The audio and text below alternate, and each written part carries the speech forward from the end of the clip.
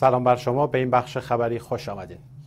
مذاکرات ایران با پنج به علاوه یک بر سر پرونده اتمی جمهوری اسلامی از امروز سه شنبه آغاز شد. کاترین اشتون و محمد جواد ظریف ساعت 8 و 30 دقیقه صبح امروز به وقت وین در مقر سازمان ملل در این شهر ملاقات کردند. به گزارش خبرگزاری ایسنا عباس عراقچی و هلگا اشمیت معاونان کاترین اشتون و محمد جواد ظریف نیز شب گذشته درباره دستور مذاکرات هسته‌ای ایران با گروه پنج به علاوه یک گفتگو کردند. در همین حال قرار بود آقای ظریف و خانم اشتون دوشنبه شب در شام کاری گفتگو کنند اما به گزارش خبرگزاری های ایران آقای ظریف در اعتراض به دیدار خانم اشتون با عده‌ای از فعالان مدنی زن در جریان سفر اخیرش به تهران شام کاری را لغو کرد محمد جواد ظریف گفته است در این دور از مذاکرات درباره غنیسازی اورانیوم، reaktور آبسنگین عراق و همکاری در چارچوب پیمان منع گسترش سلاح‌های هسته‌ای گفتگو خواهند کرد. در رویدادی دیگر محمد جواد ظریف در انتقاد به برخی مخالفها در داخل در فیسبوک خود نوشت به خاطر منافع کشور در برابر تهمت‌ها سکوت می‌کنم.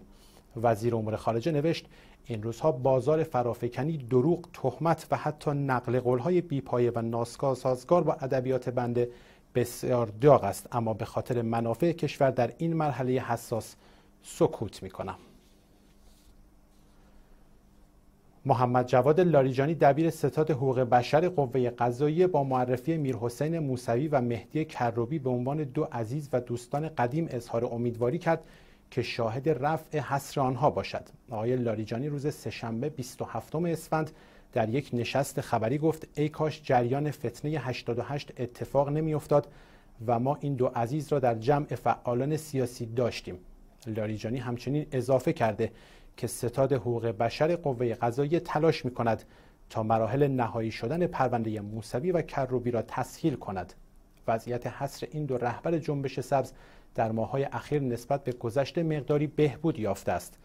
فشارهای بین المللی و تغییر دولت در ایران می تواند از عوامل بهبود وضعیت موسوی و کروبی در حصر بوده باشد. موضوع کم سابقه و مثبت دبیر ستاد حقوق بشر قوه قضاییه درباره آقایان موسوی و کروبی نیز می‌تواند در واکنش به گزارش اخیر سازمان ملل درباره وضعیت حقوق بشر در ایران اتخاذ شده باشد. به نظر می رسد آقای لاریجانی به اتخاذ موضعی معتدل درباره موسوی و کروبی تلاش کرده نشان دهد گزارش احمد شهید درباره وضعیت حقوق بشر در ایران نادرست است. جواد لاریجانی در این نشست خبری حملات خود با آقای شهید را ادامه داده و گفت جمهوری اسلامی از وی شکایت کرده است. محمد تقی مصباح یزدی که حملات خود به اهل سنت را از هفته وحدت آغاز کرده در ایام فاطمیه نیز اظهارات جنجال برانگیز تازه علیه آنها بیان کرده است. به گزارش خبرگزاری حوزه آقای مصباح یزدی در دیدار با گروهی از طلاب حوزه علمیه تایبات گفته اکثریت اهل تسنن تعمدی نداشتند که این راه را انتخاب کردند. وی افسوده اکثریت اهل سنت با این انتخاب خود را از معارف اهل بیت محروم کردند که این مسئله ریشه در حوادث پس از مرگ پیامبر اسلام دارد. رئیس مؤسسه امام خمینی گفته متاسفانه برخی اغراض شخصی اجازه نداد تا پس از رحلت پیامبر اکرم از اهل بیت ایشان به نحو مطلوبی استفاده شود.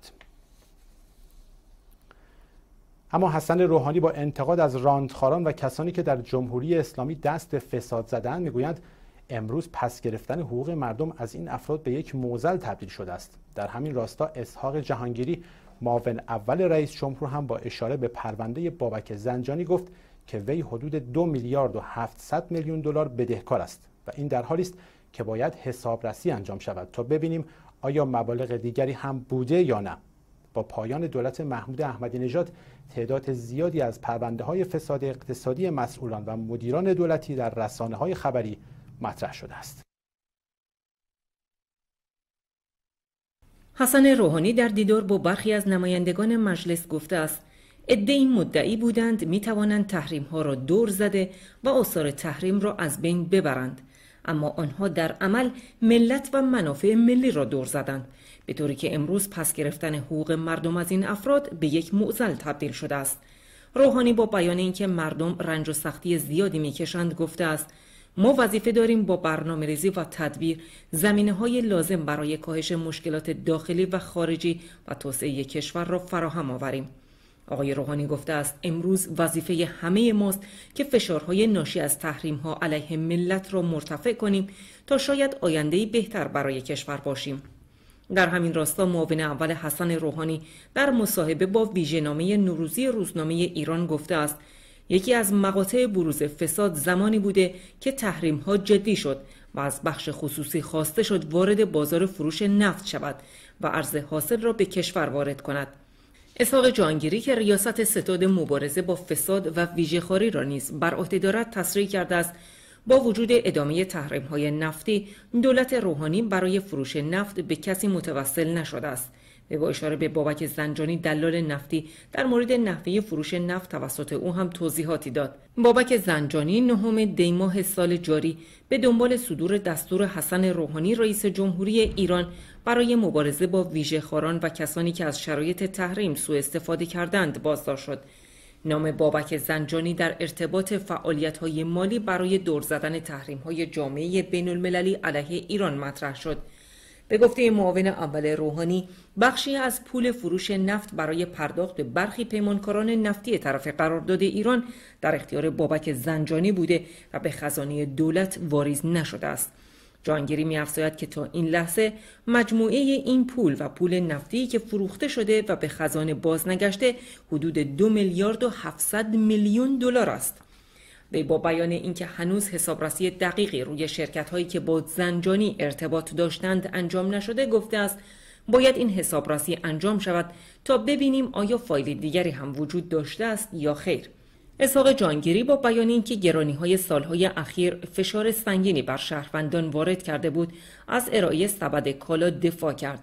جانگیری افسوده است پیام تلخ آنچه که در جریان ارائه سبد کالا رخ داد این است که زندگی مردم به چه نقطه ای رسیده است که برای یک سبد کالا حاضرند ساعتها در صفه ایستند او همچنین با انتقاد شیوه اجرای طرح هدفمندی یارانه ها گفته است اگر قرار بود خود ما برای هدفمندی تصمیم گیری کنیم مطمئنا به این شکل تصمیم نمی گرفتیم. اسحاق جانگیری طرح هدفمندی یارانه ها را ساختمان نیمه کاره ای خوانده است که سقف و ستونهای آن ساخته شده اما دولت ناچار است آن را اصلاح کند به با بیان اینکه در اجرای طرح هدفمندی شوک قیمتی به مردم وارد نخواهد شد گفته است نه تنها یارانه اقشار کم درآمد قطع نخواهد شد بلکه حتما با روش های دیگری تحت پشتیبانی دولت قرار خواهند گرفت. حسن روحانی رئیس دولت یازدهم در راستای مبارزه با فساد دی ماه امسال به اسحاق جانگیری دستور داده بود تا اقدامات لازم را برای شناسایی و مجازات کسانی که با استفاده از تحریم ها مالندوزی کردند انجام دهد. آقای جانگیری نیز در همین راستا دهم بهمن ماه اعلام کرد که گزارشی در رابطه با مبارزه با ویژه خاری به رئیس جمهور تحویل داده و او در حال بررسی آن است. با این وجود کارشناسان می‌گویند شرایط سیاسی و اجتماعی ایران به فساد اقتصادی دامن زده است. به باور این کارشناسان ورود نظامیان به اقتصاد و همچنین فعالیت های غیرقابل کنترل نهادهای وابسته به رهبر جمهوری اسلامی از جمله مواردی تشدید کننده فساد در ایران هستند.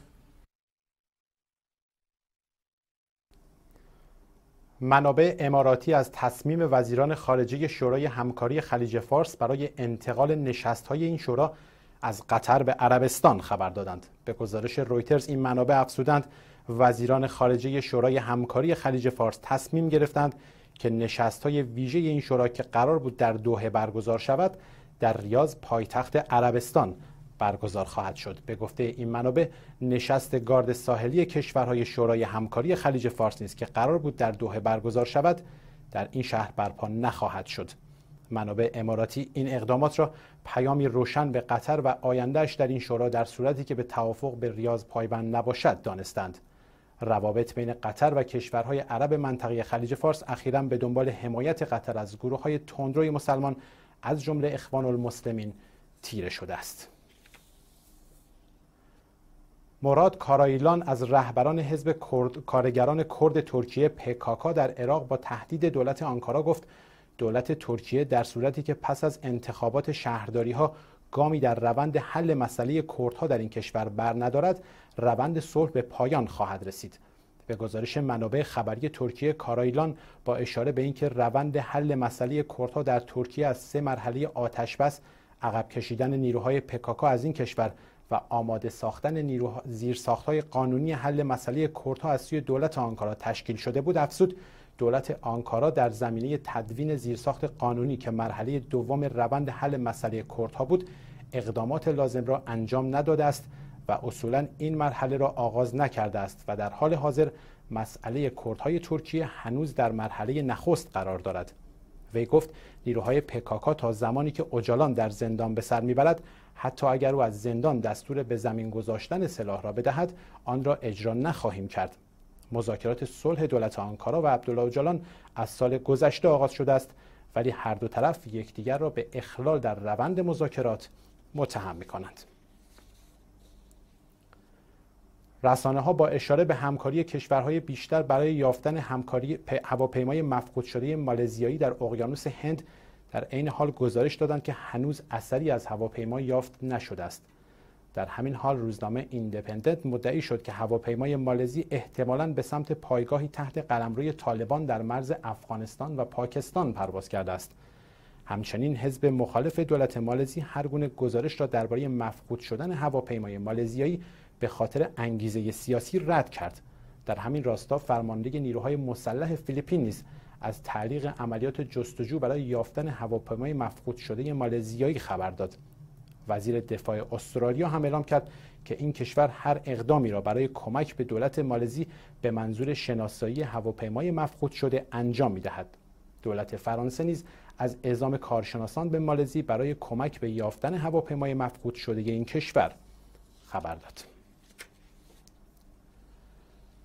محمد جواد ظریف وزیر امور خارجه ایران در دیدار با اخسر ابراهیمی فرستاده ویژه سازمان ملل متحد و اتحادیه عرب در مسائل سوریه با بیان اینکه ایران هیچ پیش شرطی در زمینه مشارکت در نشستهای سوریه را نمیپذیرد گفت بشار اسد رئیس جمهوری قانونی سوریه است و دولت سوریه در جهت بازگشت آرامش به این کشور تلاش می کند. ایران بزرگترین متحد منطقه نظام بشار اسد رئیس جمهوری سوریه به شمار می آید. خبرگزاری فورس گزارش داد محمد جواد ظریف در دیدار با اخضر ابراهیمی با تشریح نقش دولت و رئیس جمهور قانونی کنونی در سوریه در روند بازگشت ثبات و امنیت به این کشور فراهم شدن شرایط مناسب برای برگزاری انتخابات عادلانه با حضور همه آهاد مردم سوریه جهت تعیین سرنوشت سیاسی آینده خودشان را مورد تاکید قرار داد. نظام اسد قصد دارد انتخابات ریاست جمهوری را در سال جاری میلادی برگزار کند. ابراهیمی پیشتر گفته بود برگزاری انتخابات ریاست جمهوری در سوریه تمام تلاش ها و مذاکرات صورت گرفته برای پایان دادن به جنگ های داخلی این کشور را از میان خواهد برد. وزیر امور خارجه ایران همچنین تاکید کرد ایران هیچ پیش شرطی در زمینه مشارکت در نشست های سوریه را نمیپذیرد. ظریف بر موضع ایران در ضرورت حل و فصل سیاسی بحران سوریه با در نظر گرفتن خواست و مطالبات واقعی مردم سوریه برای بازگشت آرامش و امنیت به کشورشان تاکید کرد. بنا به این گزارش وزیر امور خارجه ایران با یادآوری نقش و های اخصر ابراهیمی گفته است سازمان ملل متحد باید نقش مستقل خود را بدون تأثیر پذیری از فشارهای برخی کشورها در جهت تداوم ها برای حل و فصل این بحران ایفا کند. به در این حال افزوده است. ایران همواره تاکید کرده که هیچ پیش شرطی را در زمینه مشارکت در نشستهای مربوط به حل این بحران نمیپذیرد و در عین حال از بکارگیری ظرفیت و توان خود برای کمک به این روند سیاسی دریغ نمیورزد. اخسر ابراهیمی نیز در این دیدار روند مذاکرات ژنو دو و تلاش های صورت گرفته برای حل و فصل بحران سوریه را در ابعاد سوری سوری منطقه‌ای و بین المللی همچنین چالش ها موانع و نیز فرصت های موجود در این روند را تشریح کرده و مذاکرات خود در تهران را بسیار خوب و سازنده دانست. به با تاکید بر موضع صریح و شفاف خود در تاکید بر ضرورت دعوت و حضور ایران در نشست ژنو دو و هر گونه نشستی برای حل بحران سوریه خواستار تداوم مساعدت و کمک موثر ایران برای تقویت روند سیاسی برای پیشبرد تلاش‌های جاری برای حل بحران سوریه شد. این دومین سفر ابراهیمی به تهران در چارچوب مأموریتش برای حل و فصل بحران سوریه به شمار می رود. او آبان ماه گذشته و پیش از برگزاری دور نخست مذاکرات میان دولت و ائتلاف ملی اپوزیسیون سوریه هم به تهران سفر کرده بود و با اشاره به اهمیت نقش ایران در منطقه خواستار حضور های ایرانی در کنفرانس بین المللی صلح سوریه موسوم به ژنو دو شده بود. از سوی دیگر غرب و همچنین اپوزیسیون سوریه تاکید می کردند که ایران برای حضور ابتدا باید نتایج کنفرانس ژنو یک را بپذیرد کنفرانس ژنو یک در سال 2012 در ژنو درباره بحران سوریه برگزار شده بود. در آن کنفرانس بر سر مسائل از جمله توقف های نظامی به دو طرف بحران خروج شبه نظامیان مسلح خارجی از سوریه و تشکیل دولت انتقالی در این کشور توافق شد. ایران اما در پاسخ به درخواست ها گفت هیچ پیش شرطی را برای مشارکت در کنفرانس ژنو دو نمیپذیرد. مولوی احمد نارویی از رهبران اهل سنت سیستان و بلوچستان و امام جمعه موقت مسجد مکی زاهدان روز دوشنبه 26 اسفند ماه در سانحه رانندگی درگذشت. به گزارش خبرگزاری جمهوری اسلامی ایران ایرنا در این سانحه رانندگی دو نفر از همراهان وینی زخمی شدند. زاهدان پرس محل حادثه را جاده چشم زیارت بخش مرکزی زاهدان اعلام کرد و نوشت مولوی عبدالقنی بدری معاون آموزشی مسجد مکی نیز در این سانحه مجروح شده است. مولوی احمد نارویی داماد مولوی عبدالحمید امام جمعه اهل سنت شهر زاهدان بود و یک بار نیز در مرداد ماه 1387 به دادگاه ویژه روحانیت مشهد احضار و سپس بازداشت شد. او همواره اهل تسنن را به خیشتنداری و دوری از درگیری و حفظ آرامش دعوت می‌کرد و از منتقدان حکومت ایران بود و بارها اعتراض خود را نسبت به اینکه پست های کلیدی کشور به اهل سنت واگذار نمی شود اعلام کرده بود. مرگ او بر اثر حادثه رانندگی بر اساس گزارش های رسانه‌ای منتقد مشکوک گزارش شده است. احمد رونقی پدر حسین رونقی ملکی در اعتراض به برخوردهای دادستانی و مسئولان زندان در مقابل زندان اوین تحسن کرده است. به گزارش سهام نیوز این پدر رنج دیده که برای ملاقات فرزندش به زندان اوین رفته بود در ادامه اعتراض به تحویل نگرفتن وسایل فرزندش توسط ماموران زندان از ملاقات با فرزند خود نیز خودداری کرده است. فشار بر خانواده رونقی در حالی افزایش یافته است به طوری که تنها به حسین رونقی ملکی مرخصی درمانی داده نمی شود. بلکه هفته گذشته ملاقات حضوری را نیز برای خانواده وی منع کرده بودند. این زندانی سیاسی طی ماههای گذشته از وضعیت جسمی وخیمی رنج می‌برد. پس از آنکه جشنواره شعر فجر دعوتش از یدالله رویایی شاعر نام آشنای ایرانی را پس گرفت آقای رویایی در واکنش به تبلیغات رسانه‌ای علیه او اعلام کرده است که وقتی آزادی به ایران برگردد او هم به ایران باز خواهد گشت. یدالله رویایی از شناخته شده ترین شاعران معاصر ایران در سایتش در یادداشت کوتاهی نوشته است. شنیدم که رسانه نارسا در تلویزیون ایران شبها به مهمان ناخوانده و ناخواسته ای که منم فحش و فضیحت میفرستد که مبادا برگردم. اشاره آقای رویایی به تلویزیون زرقامی و همچنین روزنامه کیهان است که در روزهای اخیر به شدت به این شاعر ناماشنای ایرانی حمله کرده بودند. جشنواره شعر فجر شنبه 24 اسفند. دعوتش از یدالله رویایی شاعر شناخته شده ایرانی را پس گرفت. علیرضا قزوه یکی از شاعران وابسته بیت رهبری و سپاه پاسداران و همچنین یکی از اعضای شورای سیاستگذاری هشتمین جشنواره شعر فجر پیشتر با انتقاد شدید از دعوت رویایی گفته بود. برای شناختن رویایی شعر او کافی نیست بلکه باید ابتدا از عقاید سیاسی او مطلع شد. ماشاءالله شمس الواعظین نایب رئیس پیشین انجمن سنفی روزنامه‌نگاران می‌گوید 90 درصد از کسانی که به عنوان روزنامه‌نگار نامه عدم بازگشایی انجمن سنفی روزنامه‌نگاران را امضا کردند اصلا روزنامه‌نگار نیستند. این اظهارات شمس الواعظین واکنش به انتشار خبری توسط برخی رسانه ها در روز یکشنبه است. در این روز رسانه های وابسته به محافظه کاران نوشتند که 1280 تن از خبرنگاران و روزنامه‌نگاران در نامه‌ای به رئیس جمهور خواهان عدم بازگشایی انجمن سنفی روزنامه نگاران شدند. شمس الواعظین درباره وضعیت کنونی انجمن سنفی روزنامه نگاران گفت هنوز از وضعیت انجمن خبر دقیقی وجود ندارد و شاید تا دو روز دیگر وضعیت روشن شود. انجمن سنفی روزنامه نگاران در سال 1388 توسط سعید مرتضوی دادستان وقت پلم شد ابراهیم حاتمی کیا گفته در جریان اعتراضها به نتایج انتخابات ریاست جمهوری سال 1388 فرزندانش شبها با بلندگوی کارگردانی وی به نفع میر حسین موسوی الله اکبر می گفتند. آقای حاتمی کیا این مطلب را پس از گذشت بیش از چهار سال از آن زمان و در گفتگو با ماهنامه مهرنامه بیان کرده است. وی گفته گرایش فکری و سیاسی بچه های من همگی به آقای موسوی بود و در کوران حوادث پس از انتخابات سال 1388 اینها به پشت بام می‌رفتند و با بلندگوی کارگردانی من الله اکبر می‌گفتند در جریان حوادث سال 1388 فرزندان قابل توجهی از مقام جمهوری اسلامی به طرفداری از میر حسین موسوی و مهدی کروبی به خیابان ها آمدند و برخی از آنها نیز بازداشت و البته آزاد می شدند. به دنبال ملاقات کاترین اشتون با مادر ستار بهشتی و نرگس محمدی فعال حقوق زنان جایزه به عنوان تندیس باروت خیست به وی و تاریا کرونبرگ تعلق گرفت. بر این اساس این جایزه که توسط قرارگاه راهیان نور تهیه شده به تاریا کرونبرگ مسئول هیئت پارلمانی اروپا که چندی قبل به ایران آمد و با نسرین ستوده و جعفر پناهی دیدار کرد و همچنین خانم کاترین اشتون طی مراسمی مضحک داده شد. فرماندهان نظامی برگزار کننده این برنامه گفتند جایزه امسال باروت خیس را در واکنش به دیدار کرونبرگ و اشتون با گروهی از فعالان حقوق بشر در تهران به این دو نفر اهدا کردند. مراسم اهدای این جایزه با حضور سعید جلیلی و محمد رضا نقدی برگزار شده است.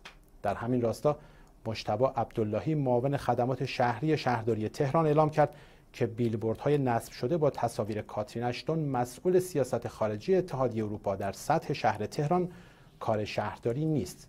به تازگی بیلبوردی در تهران نصب شد که نیمی از چهره کاترین اشتون را چسبیده به چهره صدام حسین رئیس جمهور پیشین عراق نشان می‌دهد. این بیلبورد هم واکنشی به دیدار اشتون و فعالان زن در سفارت اتریش است که با اعتراض تند و فوری اصولگرایان روبرو شده است. محمد تغییر رهبر نماینده اسبق مجلس به خبرگزاری حوزه گفت امروز متاسفانه گاهی رفتارهای دوران جاهلیت چون سقط جنین در جامعه مشاهده می شود که گناهی بزرگ است. وی همچنین با انتقاد از اختلاط دختران و پسران در دانشگاه ها افسوده در کجای اسلام آمده دانشگاه های جمهوری اسلامی مختلط باشد.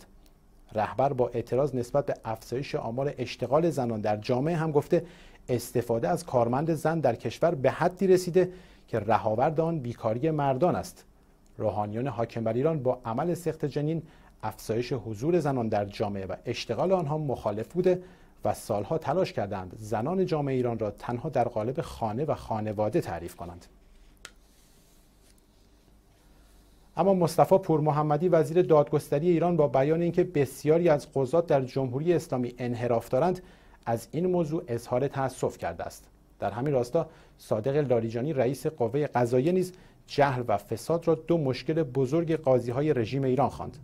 فساد در جمهوری اسلامی نه تنها در حوزه اقتصاد که در سایر حوزه ها از جمله قوه قضاییه نیز بسیار گسترده است. چند روز پیش احمد توکلی گفته بود جمهوری اسلامی مبتلا به فساد سیستماتیک شده است. صادق لاریجانی رئیس قوه قضاییه ایران می‌گوید جهل و فساد دو مشکل بزرگ قضات جمهوری اسلامی ایران است. آقای لاریجانی گفته قضات قوه قضاییه باید اطلاعات حقوقی و قضایی خود را دائما بروز کند. لاریجانی همچنین از قضات خواسته است در صدور احکامی که منجر به وهن نظام می شود ملاحظه کنند. قرارهای بازداشت بلند مدت از جمله مواردی است که قوه قضایی همواره در این زمینه مورد انتقاد بوده و لاریجانی هم از قضات خواسته چنین احکامی را در لحظه عصبانیت صادر نکنند. به نظر می رسد منظور رئیس قوه قضایی احکام اعدام شلاق و قطع دست در ملع عام باشد که در دو سال گذشته آمار این دسته از احکام افزایش قابل ملاحظه ای داشته است. صادق لاریجانی پیشتر از این احکام به خصوص اعدام و قصاص دفاع کرده و گفته بود قوه قضایی افتخار می کند که این احکام اسلامی را به اجرا می گذارد. کشورها و سازمانهای بین المللی سالهاست نگران روند روبرشت شمار اعدام ها در جمهوری اسلامی هستند. در رویداد دیگر مرتبط با قوه قضایی مصطفی پور محمدی وزیر دادگستری از انحراف فراوان مدیران و قضات جمهوری اسلامی خبر داده و از این مسئله اظهار تأسف کرده است. پور محمده که در سال 67 عضو هیئت سه نفره مرگ بود در ادامه گفته است متاسفانه با آنکه حقوق قضات به نسبت از دیگران بهتر است از آنان نیز خبت و خطاها و انحرافات فراوانی به گوش می‌رسد. پور محمدی تاکید کرده وضعیت عمومی نظام اداری کشور گواهی بر این مدعا است. چند روز پیش احمد توکلی گفته بود جمهوری اسلامی مبتلا به فساد سیستماتیک شده. به طوری که نهادهای مسئول مبارزه با فساد نیز به درجاتی از فساد مبتلا شدند. توکلی گفته بود نهادهای مسئول مبارزه با فساد خودشان به درجاتی از فساد مبتلا هستند مثل قوه قضاییه نیروی انتظامی مجلس و بازرسی کل کشور و به عبارتی این نهادها پاک پاک نیستند. اشاره احمد توکلی به دستگیری تعدادی از مدیرانی بود که مسئولیت مبارزه با فساد را در سازمان تعذیرات حکومت به عهده داشتند. اشاره به فساد و انحراف قضات در حالی است که پیشتر فرمانده پلیس ایران نیز از رشوهگیری گسترده ماموران نیروی انتظامی خبر داده بود. بر اساس گزارش سازمان شفافیت جهانی جمهوری اسلامی یکی از فاسدترین کشورهای دنیاست و به لحاظ فساد مالی در میان 178 کشور دنیا در رتبه 146 قرار دارد.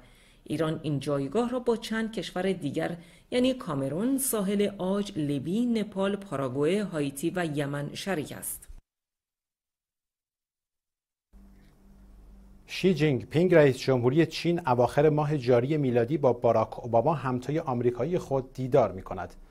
به گزارش شینهوا این دیدار قرار است در هلند و در حاشیه نشست امنیت هسته‌ای انجام شود. نشست امنیت هسته‌ای روزهای 24 و 25 ماه مارس در شهر لاهه برگزار می شود. در همین حال منابع دیپلماتیک از لغو شدن دیدار رهبران کشورهای شورای همکاری خلیج فارس و باراک اوباما رئیس جمهوری آمریکا خبر دادند. به گزارش الجزیره دلیل لغو شدن این دیدار اختلاف میان کشورهای حوزه خلیج فارس و تکروی قطری ها اعلام شده است. این دیدار برای 28 ماه مارس برنامه ریزی شده بود. به گفته این منابع دیپلماتیک قرار است عبدالله بن عبدالعزیز پادشاه عربستان به عنوان نماینده کشورهای شورای همکاری خلیج فارس با اوباما دیدار کند.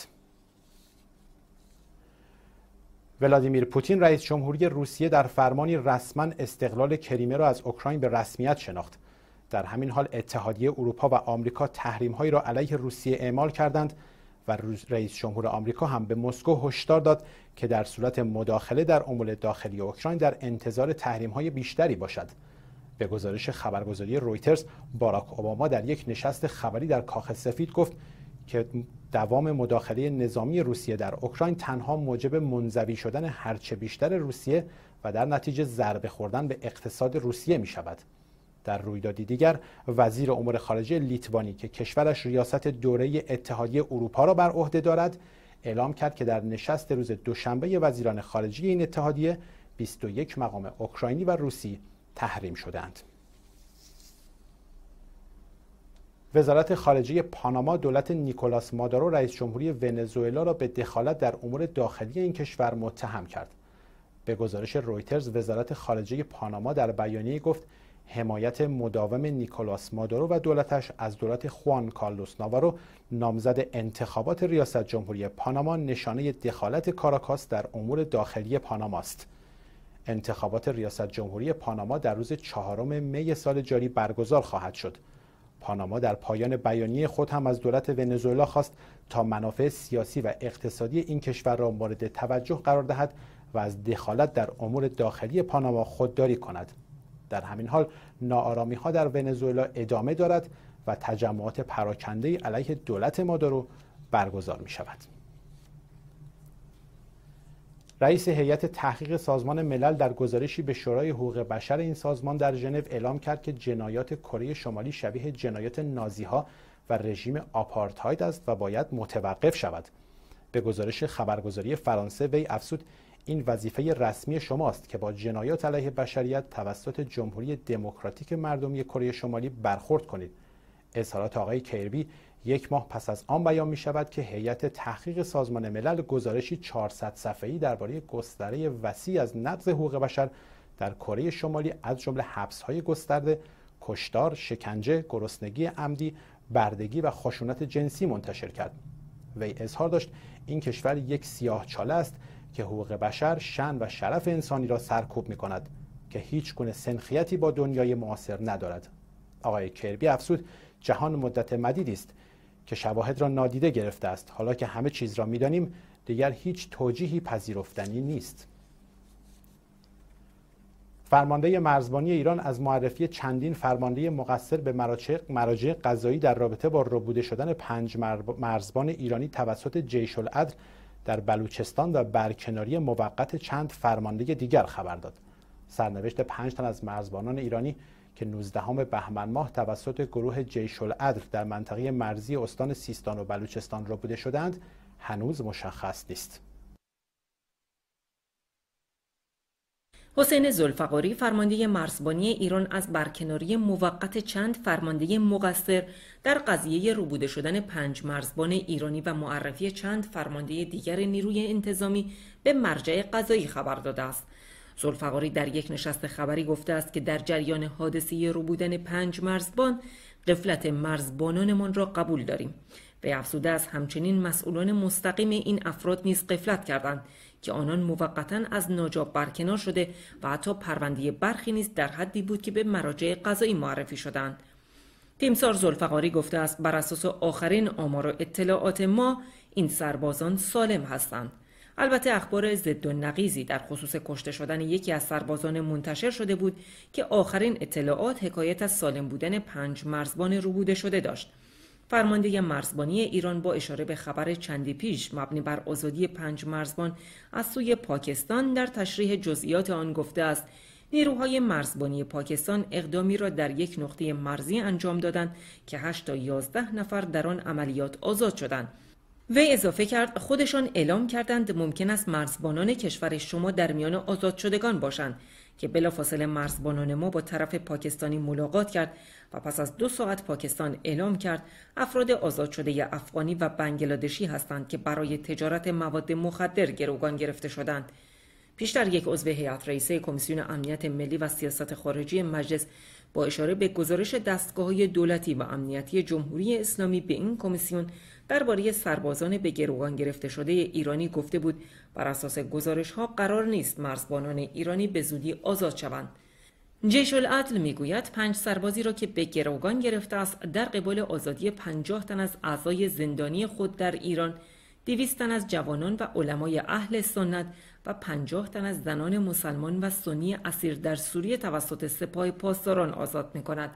مسئولان ایرانی از آغاز ماجرای روبوده شدن پنج مرزبان ایرانی توسط گروه جیش العدل از دولت پاکستان به علت کنترل نکردن کافی مرزهای خود به شدت انتقاد کرده و حتی تهدید کردند که ممکن است برای آزادی مرزبانان به اقدام نظامی درون خاک پاکستان دست بزنند. اما جیش العدل می‌گوید که اعضای آن نه در خاک پاکستان یا دیگر کشورهای همسایه بلکه در کوههای بلوچستان ایران مستقر هستند.